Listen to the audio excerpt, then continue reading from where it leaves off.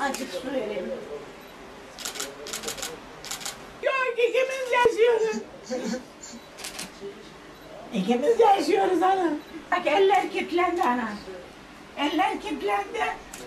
Hep bu koca gece böyle yapıyorum. Ben ölürsem kim bakar buna? Ortada kalır. Ama çabalıyorum Hüseyin'im iyi olsun diye. O gün gene şehir hastanesine gittim. Mahvoldum. Hüseyin, Hüseyin. Ee, Prasot tozu içtim. Biraz kilo alsın diye. Ee, uzmanlığa başvurdu. Ondan sonra zayıfım dedi.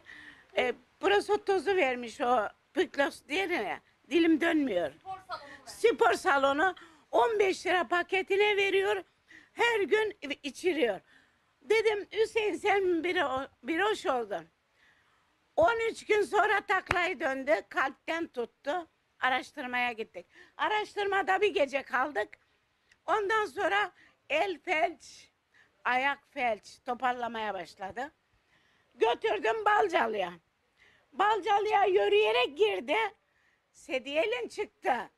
Felç olmuş.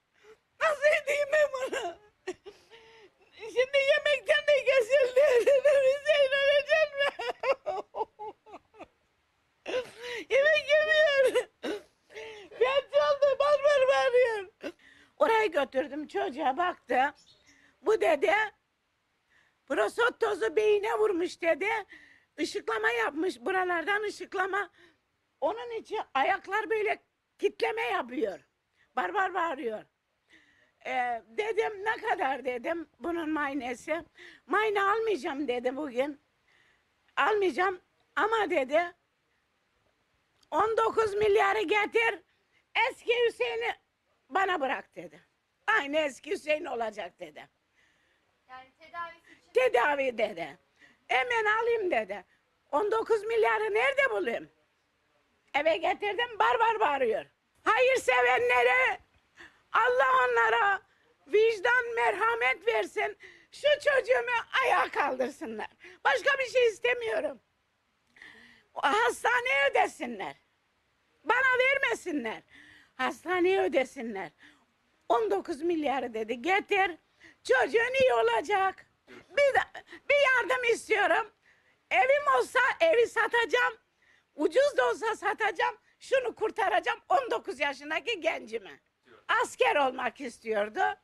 Dedi ki ya uzman olacağım ya paralı asker olacağım. Seni bu kümesten çıkaracağım nene dedi. onun için gitti. Evet çocuk gitti askeriye başvurdu. Bu hale geldi. Spor salonundan budur böyle. Allah şifanı versin. Hayırlı insanla karşılaştırsın. Hüseyin'ime derman